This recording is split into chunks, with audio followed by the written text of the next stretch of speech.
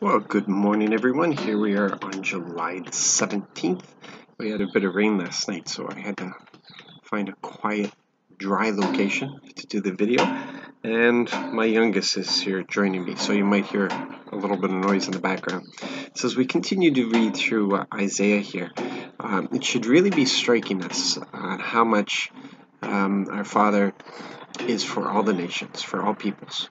Um, that he had his purposes for, for raising up Israel, and that purpose was so that Israel would reveal him to the entire world, that uh, they would set the example of what it is to be blessed uh, of the Lord, and uh, his glory would shine through them. So that was their purpose. They, he, they were his inheritance. Um, that the um,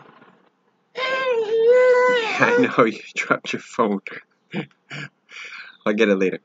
Uh, and as we read through this, we, we see that um, we, see in, in in chapter 19, it really strikes us how we, we see everybody against Israel right now in history. Uh, but God's intention is that uh, all nations will worship Him, and He specifically uh, refers to Egypt and uh, Assyria joining with Israel to become the center um, of worship in the world.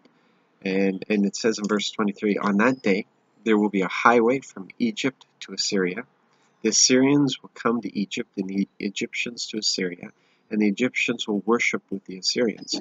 On that day, Israel will be the third, along with Egypt and Assyria, a blessing at the center of the world.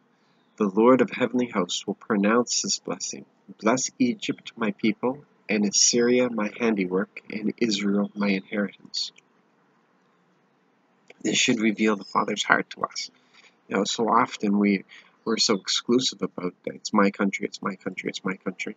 Um, our, our, American cousins uh, can be very much like that. God bless America.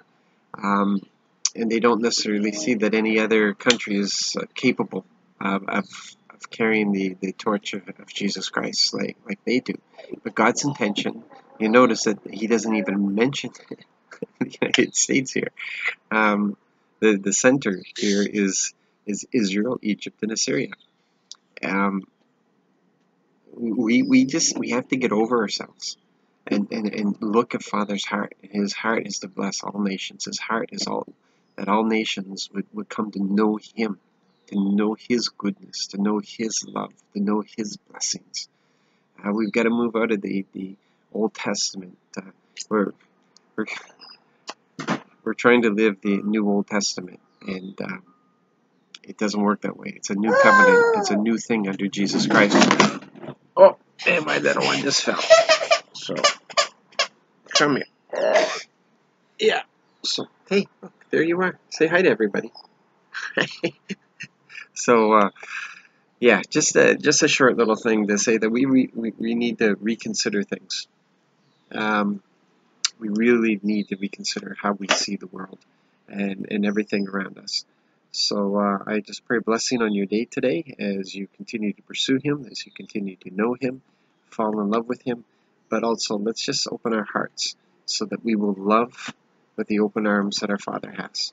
So God bless.